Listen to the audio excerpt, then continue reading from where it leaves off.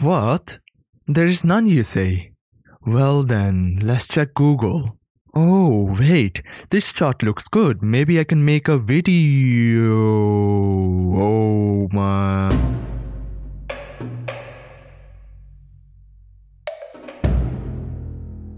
Now, Eastern philosophy is like the Game of Thrones of philosophy, but a little bit more confusing as it has several storylines taking place at the same time. Although, at least, Eastern philosophy doesn't have as bad of an ending. We've got this guy who kicked off things by writing the first Purana, which was a mixture of astrology, folk tales, medicine, love stories, and good old humor. His son, next, was like, Dad, I'm going to be you, but stronger, and ended up just establishing the most important works and epics in Hindu tradition. Going a bit west, we come across Zarathustra. He put down the human condition as a struggle between Asa and Druj, or in your peasant language, commonly known as good and evil. He also wrote about human purpose and freedom of will to choose right and wrong. Anyways, enough about good and bad, because I have had enough of that. Now, going back to India, they established few orthodox Hindu philosophical schools which followed the ancient scripture. Vedanta chucked in the concept of human soul and supreme cause of the universe. Yes, yes, the universe. I know everyone loves themselves some good old creation of the universe. Well, yoga, yes, this is where your weird couple yoga positions come from. Well, not really. You guys are the ones who turned it into a horny zone. Well, these guys from yoga just like to chill, sit around and get psychedelic for some self-liberation. Oh yes, self-liberation. While Saramana was a heterodox school of thought. Yes, heterodox. Guys, time to pull out the pitchforks. Anyhow, this school included all other notable philosophies which you might have heard of. yeah, now all out of sudden we have got a lot of movement going on. I sometimes feel the world is like the person who gets sudden jolts of energy and motivation, but after the time passes, that person ends up burnt out and depressed. Okay, okay, right back to the show. Ajita Kesakambali was one of the first to introduce materialism in India. He denied the existence of an eternal soul and said, with that, everything is annihilated. Man, oh man, he really was something as he mixed amoralism, fatalism, materialism, eternalism, and agnosticism to create the perfect philosophy for an edgy teenager you can find today. While Mahavira came in with Jainism, I mean, he was important at all, encouraging non-violence, self-control, and equal importance of everything. But man, they were ahead of us one step. At the same time, Buddha vowed to starve till death.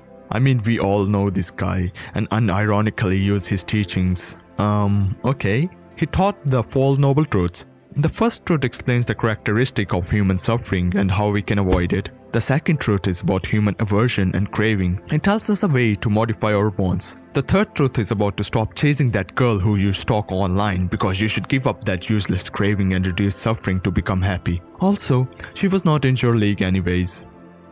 yes. The fourth truth is about the noble eightfold paths which assist to end the suffering. And now we finally make our way into the east. Ah yes, ancient China. Nope, not yet. We've got a particular segment for the land of the rising sun. Shintoism, or Kami no Michi, originated from Japan. I swear I didn't want to say it in Japanese just because I'm a weeb or something. Anyhow, Shintoism revolves around gods or spirits inhabiting everything in the world, so basically being a pantheistic philosophy. Now, because everything has a spirit doesn't mean you could go on humping your body pillow because you think it is alive or something. Ah, yes, we skip over China now and go back to India. Psych! We are chilling with Confucius. Two significant parts of Confucian ethics are Li and Ji. Li is based on the actions required by the person to create an ideal society, while Ji is based on actions which are ethically best in context. There is also Ren, which is based on actions of benevolence and virtue toward others. In the same era, we've got the school of naturalists where Zhao Zhan contributed to this philosophy. He used the duality of yin-yang and five elements to explain the workings of the universe. Ah yes, of course, those five elements were taken from Naruto as it was made before the school of naturalists. Connecting the dots was Lao Tzu, who created the philosophy of Daoism. He wrote about the concept of Wu Wei which emphasizes that virtue lies in non-action. The life is needed to be lived effortlessly, like a stream of water, which moves freely and without any resistance. I really like this philosophy because I like to live effortlessly on my parents' income. Ah, I love to be loved. A rival of Confucian philosophy was Mo Tzu. His philosophy was basically love everyone mate, everyone. Even that person who parked the car in your usual parking place. God damn it, Eric, I can't hit you anymore. The last famous ancient Chinese philosopher was Shang Yang, who was a philosopher representative of legalism. His authoritative work showed that he was a strict applier of publicized laws imposed from above as human nature was taught as selfish and short-sighted. Oh, you thought I forgot about Sun Tzu? Well, yes I did. He came and took a different direction than most philosophers. He wrote The Art of War, which discussed the strategies and philosophy of war, including use of deceit, delaying action if necessary, willingness for creating alliance, and use of spies. People playing among us. Take notes, please. Mahavira found the Samkhya school who argued the universe was made of two realities, Prakriti, which means matter, and Purusa, which means consciousness. Chanakya, who was I would also say was ahead of his time, as he set down the monetary and fiscal policies, which my friend are economics terms, and I have to go through them every day. Yes, yes, my life is very enjoyable. Thank you, thank you. Ah. Jaimini established Mimamsa, which was more about the philosophy of language and philology. Sage Kanada created the atomist school of... Wait... Okay, I realize there are a lot of school of thoughts in India and the names are seemingly becoming difficult. So we instead go to the Iranian philosophy.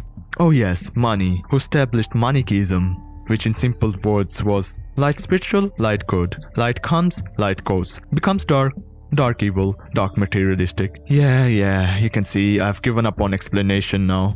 While moving even more to the west, Islam was spreading pretty quick because they were conquering whatever they laid their eyes on. There were few school of thoughts formed over the interpretation of the Quran and conflicts over who to follow after passing away of Muhammad. The Sunnis followed Abu Bakr, the Shias followed Ali, and the Sufis followed Ali as well. I don't know man, Sufis are pretty much about higher spirituality and closeness to God. And to be honest, that whirling is lit fam. Most of the philosophers after this time period dwelt on the previous ideas such as in India, heterodox and orthodox schools are followed. In China, Confucianism, Taoism, legalism and Buddhism battled it out, while due to Muslims from Arabia conquering Persia led to an increase in Islamic influence on the western side. Well, there are still few outliers as Avicenna wrote 400 freaking books. I can barely write one script for a YouTube video and he wrote 400 books on logic, ethics, metaphysics, medicine and commentaries on Aristotle. In the end, he did become a big fan of Plato as he ended up mixing Neoplatonism with theological discourse. While 200 years later, Averroes was a strong proponent of Aristotle's philosophy. He also wrote books, but this time only 100. Yeah, rookie numbers. Need to up your game, mate. Although he did end up criticizing Avicenna's theory of emanation and many other ideas because he was a hardcore Aristotle supporter. Well, seems like a good old rivalry. But shame, Avicenna was dead at that time, so maybe by default Averroes wins. From 13th century to 20th century, Eastern philosophies kind of remained constant with Sikhism under Guru Nanak coming into existence, while transcendent theosophy mixed notion of existence precedes essence with Islamic theology under Mullah Sadra. While from the 18th century onwards, Western influence increased because imperialism, yay! When people felt like they needed a change or felt like mixing two philosophies up, they would put new or new in front of the ancient philosophy's name in order to make people believe, hey, this is a totally new philosophy and much better than that old one. It is just like Apple trying to sell their iPhones by just changing the number of the model. I feel like I'm forgetting something. Hmm. Okay, I can't remember. Oh well. Eastern philosophy, although not as prevalent as its counterpart which being Western philosophy, still has played an enormous role in billions of people's lives. It's not only shaped the lives of the East, but in the West also influenced the philosophy. Arthur Schopenhauer was enlightened by Hindu scriptures which were of course written by Vyasa. Heidegger also turned to the East as his works had a similar character to the works done by Kyoto School of Philosophy, meaning he also secretly wanted to join the Weeb Squad. Also, people such as Alan Watts brought more attention to the concepts of Buddhism, Taoism, and Hinduism to the Western world through his lectures, books, and interpretations. Man, if he was alive, I would be so down to do some aesthetical experimentation on lysergic acid diethylamide, or LSD in short. Currently, due to mass information exchange, globalization, and internet, Eastern philosophy has penetrated West even more. But still, the Eastern philosophies are prevalent in the areas which they originated from originally due to their inherent linkage with culture and theology. But I hope Eastern philosophy can rise even more, as it is a treat to get to know more about it. The intuitive nature of Eastern philosophy tries to delve on the spirituality side of things, plus the simplicity of our being, instead of trying to find the logic and the ends behind everything. But again, without the combination of both Western and Eastern philosophies, the spectrum of philosophy cannot be completed. It is like a dialectical approach to living in this world, where sometimes you have to create a sense of harmony and contentment with this existence, while on other times you have to engage in the activity of finding meaning and ideas of this existence. In the end, I have only one thing to say, and only one, that the best source of learning Eastern philosophy is?